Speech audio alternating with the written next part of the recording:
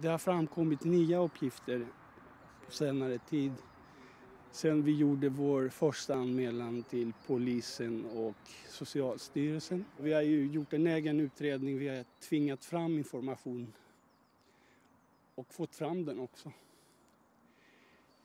Det första var förstås att få lyssna på banden,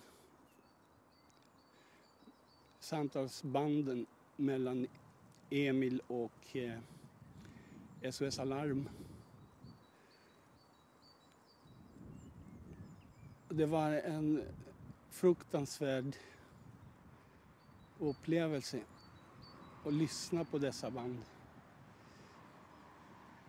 Att lyssna på Emil när han känner att han är döende. Bli misstrodd och hånad av den sköterska han pratar med. Det har vi mycket svårt att förstå och acceptera. Det var först efter att SOS Alarm hade fått tillgång till vår anmälan från Socialstyrelsen som SOS Alarm blev medvetna om vad det, som hade hänt Emil. Det är den nakna sanningen att om inte vi, familjen, hade gjort en egen utredning, tvingat fram fakta, så hade Emils död passerat. Eh, SOS Alarm hade inte fått reda på någonting. Verksamhet, verksamheten där hade fortsatt. Den ansvariga sköterskan som pekas ut och vdn och ledning som ensam ansvarig hade fortsatt jobba där. Och andra hjälpsökande hade kunnat råka ut för precis samma öde som vi har råkat ut för och Emil förstås. När man eh, lyssnar på vdn under presskonferensen så påstår han att det är en enskild människas misstag. Att SOS Alarm inte har något, något ansvar, ledningen har inget ansvar. Och då undrar vi, det är därför vi vill också att polis och åklagare ska utreda och pröva hur det kan vara möjligt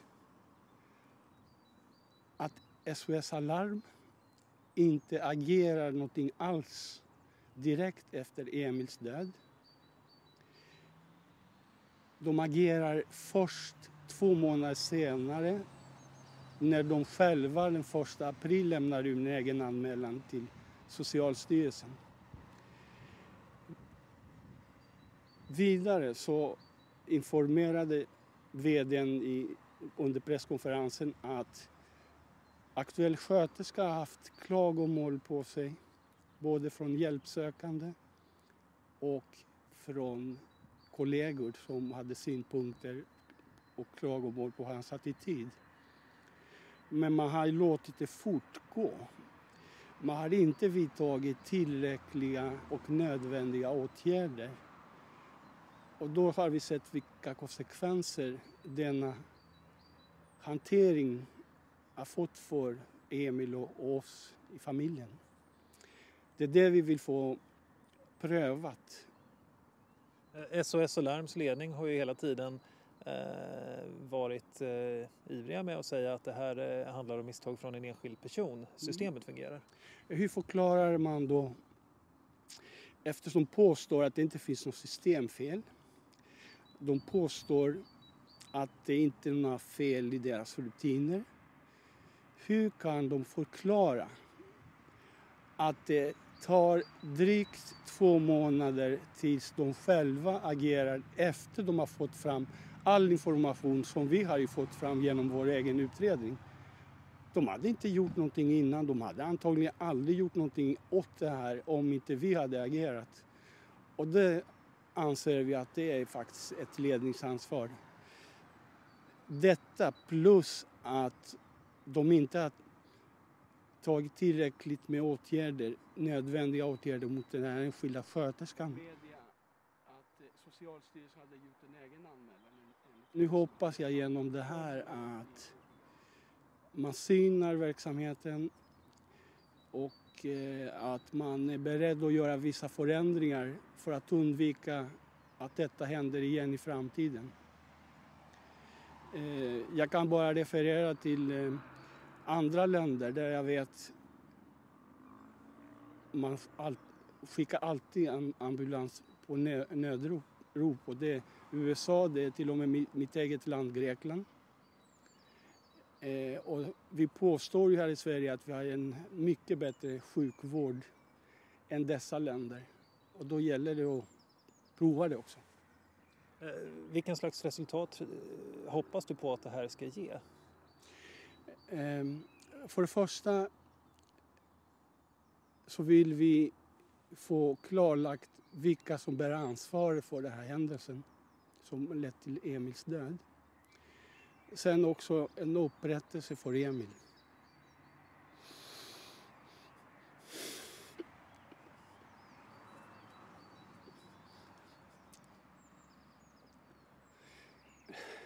Så desperat försöker få hjälp från SOS Alarm och bli hånad, misstrodd och förlöjligad. Det är någonting som vi inte kommer någonsin att förlåta. Så det är det vi vill uppnå med det här. Och där ser vi också att det är inte lätt för ledningen på SOS Alarm och bara vifta bort det här och lägga hela ansvaret på en enskild person. För de har ju en stor del i det här själva. Det är de själva som har rekryterat den här personen, de själva som ansvarar för den persons kompetens och lämplighet. Och där hade man, hade man inte tagit sitt ansvar. Tydligen tycker deras styrelseordförande likadant.